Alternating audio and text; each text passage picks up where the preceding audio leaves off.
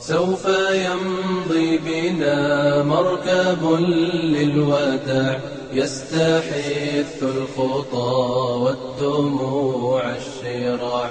عالم لم يزل يستلذ المتاع. أنتم إخوتي خير هذا المتاع. سوف يمضي بنا مركب للوداع. يستحث الخطى والدموع الشراع. عالم لم يزل يستلذ المتاع.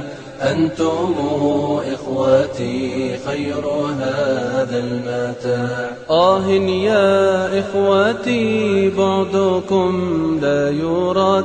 كيف أنسى أخي؟ كيف يحل الرقى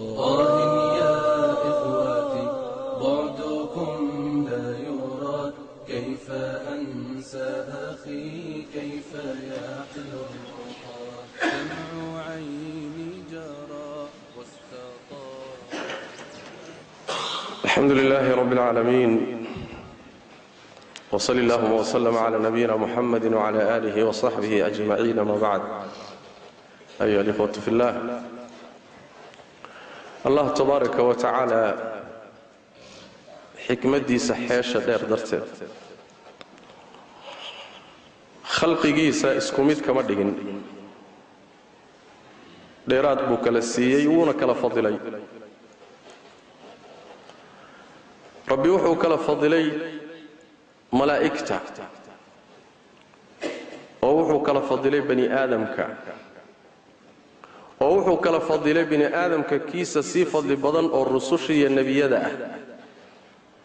Oo wuxuu kala fadilay dhulka wuxuu kala fadilay zamanka iyo wakhtiga. Allah tabaaraka wa tacaala khalqigiisa ma simin isagaa fadliga qaybiyey oo qaar siyaado siiyey. Zamanka ilaahay fadilay oo siyaadada siiyey waxaa ka mida maalinta jumcada. Waa maalinta ugu fadliga badan maalmaha usbuuca ama toddobaadka nabigeennana waxaa ka sugan sal lay wasalam inuu yidhi maalin ay qorraxi soo baxdo waxaa ugu fadli badan maalinta jumcada. Maalinkaa waa maalinkii aadam la abuuray. Si la socotaan qur'aankuna tilmaamay. Samaawaadka iyo dhulalkiiyo inta u dhaxaysa rabbigeen wuxuu ku abuuray lix beri. Lixdaa beri jumcadaa ugu dambaysa aadam jumcadaa la abuuray. Wuxuu ilaahay abuura wixii ugu dambeeyey buu ka mid yahay. Isla jumcadaa dhexdeeda maalin jumco ah baa jannada la geliyey. Isla jumcada lafteedaa jannada laga soo saaray. Oo markuu khaladka galay isagiiyo xaaskiisii xawaa oo geedkii cuneen. Jannada marka laga soo saarayana maalin jumca bay ahayd oo dhulka loo soo dejinayo isla maalin jumca baa ilaahay ka towbad aqbalay. Oo markuu khalad ka galo ilaahay u laabtay towbadiisii maalin jumca bay. Maalin jumca'a buu geeriyooday nebiyullaahi aadam calayhi wacalaa nabiyina asalaatu wasalaam maalin jumca'a bay qiyaamadu dhici doontaa. Oo adduunkan iyo waxaan isku hagaagsan la gebagabayn doonaa. Saas daraaddeed baa nebigeenna waxaa ka sugan salawaatu rabbi wasalaamu calayh samaawaadka iyo dhulka iyo makhluuqaadka iyo waxa dhulka korkiisa ku socdaayay maalinta jumcadu markay soo gasho way baqaan. Markii jinka iyo insiga laga reebo. Waxay ka baqayaan in ay tahay maalintii saacadda iyo qiyaamadu dhici lahayd. Aadamuhu laakiin waaba moog yahayba oo badankii maba ogaba isaga iyo jinkuba khasaa'is fara badan bay maalinkani leeyahay khasaa'istiisa waxaa ka mid ah nebigu wuxuu sheegay salawaatu rabbi wasalaamu calayh wuxuu yidhi waxaa ku jirta wakhti yar oo addoonkii muslim ah oo ilaahay wax weyddiista khayr ah ilaahay uu ka aqbalayo saacatu lijaaba saacad rabbi tabaaraka wa tacaala waxaad weyddiisatoon xaaraan ahayn aan macsiyo iyo dembi ahayn خير أما مباحات كا الله داد ويدي ستو كا أقبلي. حديث كأبو هريرة. أي النبي وحليه صلوات ربي والسلام عليه ما لنك الجمعة وحا كجرا وقت أما ساعة وصن وافقين المسلم تاغن أو تكنية أنا خير ويدي سنيا إلا إلهي واصيني وحويلي وأنا وقت خفيف أو ير. وقت دير ما هو وقت ير.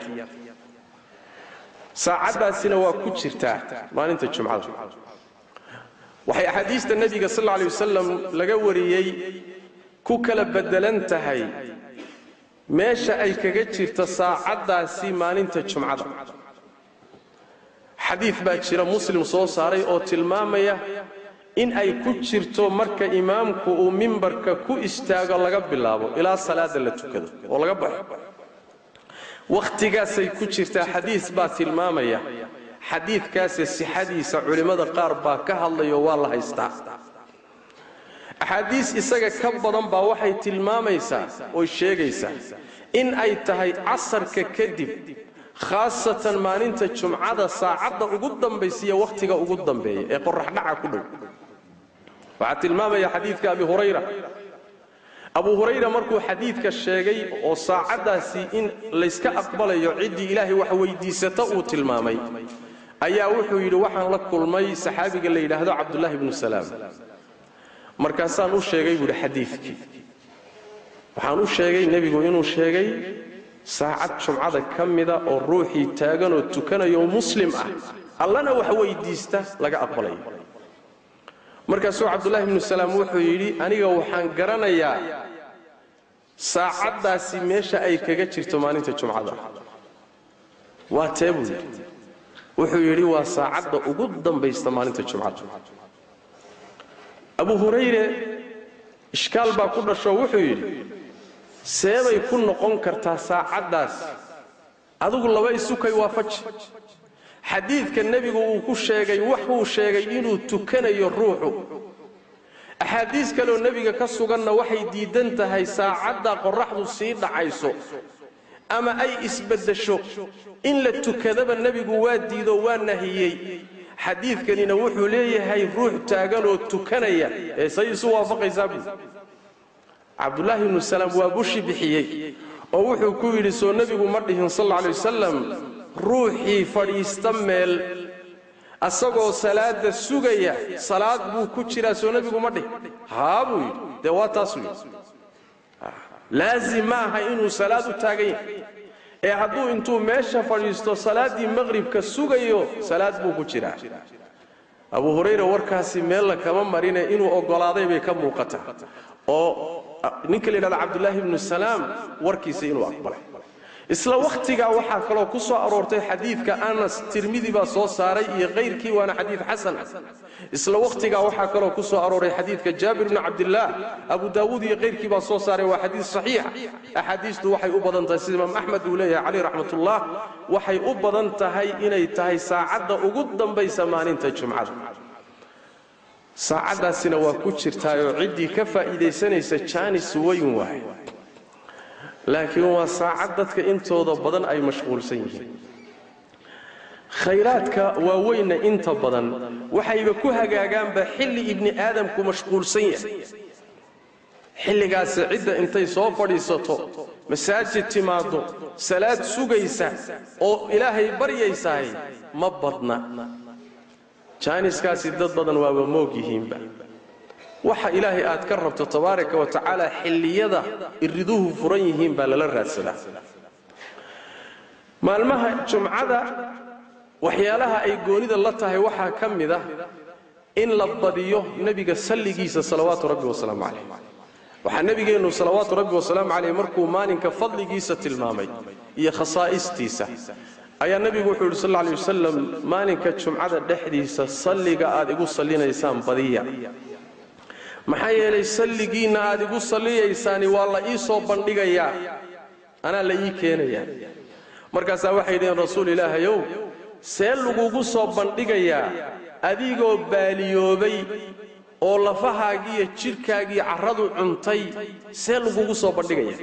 Markaasaa nebigu wuxuu uhi sal lla alay wasalam alle wuxuu dhulka u diiday oo ka xarrimay inay nebiyada iyo ambiyada iyo rususha inay jidhkooda cuno dhulka taa ilaahay waa u diiday tabaaraka wa tacaala marka ambiyada iyo rususha iyo jidhkoodii sidiibuu baaqi ugu yahay meesha salaadiinnana waa la ii soo bandhigaya nebigana salawaatu rabbi wasalaamu calayhi axaadiis kale waxaa kaga sugan hal mar markaad nebiga ku sallido sala allahu calayhi waaalihi wasalam in rabbi kugu sallinayo toban goor iyo ka badan marka acmaasha waaweyne in la badsado loo baahanya bay ka mid tahay. Maalinkan jumcada ah waxyaalaha uu khaaska la yahay rabbi noo jideeye waxaa ka mid ah salaada jumcada. Oo rabbigeen tabaaraka wa tacaala aayadda qur'aanka uu inagu amray. Marka loo aadaamo salaad maalinta jumcada ah la aadaamoo salaada loo aadaamo. Tabcan waa aadaanka dambe. Haddii masaajidda qaarkood laba aadaan laga sameeyo aadaankii cuhmaan ee hore haddii laga sameeyo aadaankaa hore lagama wade waa aadaanka dambe ee imaamku mimbarka saaran yahay. Idaa nuudiya lisalaati min yowmi اljumuca aadaankaasi hadduu dhaco fascaw ilaa dikri illaah u degdega ilaahay dikrigiisa xaggiisa aada oo masaajidka aada oo khudbada aada oo salaadda aada. Beecana ka taga. Ganacsiga joojiya dukaamada xidha. Wadaru lbayc saas daraaddeed baa culimmadu waxay isku waafaqeen xilligaasi aadaanku dhacay ilaa inta salaada laga baxayo wixii beeca ee wax kala iibsiya ee dhacaayi inuu xaaraam yahay. Kadibna waxay isku khilaafeen beecu xaaraanba ha ahaadee ma asaxayaa mise ma asaxayo waraajix inuusan asaxayn ruuxa galayna inuu dembiile yahay khaasatan hadduu yahay dadkii khudbadu ku waajibtay iyo jumcada inuu yimaado. Wadarulbayca beeca daayoo joojiyoo ka soo taga. Dukaamada soo xidho khudbada imaada. Alla wuxuu idhi tabaaraka wa tacaala dalika khayrun lakum in kuntum taclamuun. Haddaad wax garanaysaanna saasaa idin khayr badan oo idin fiican.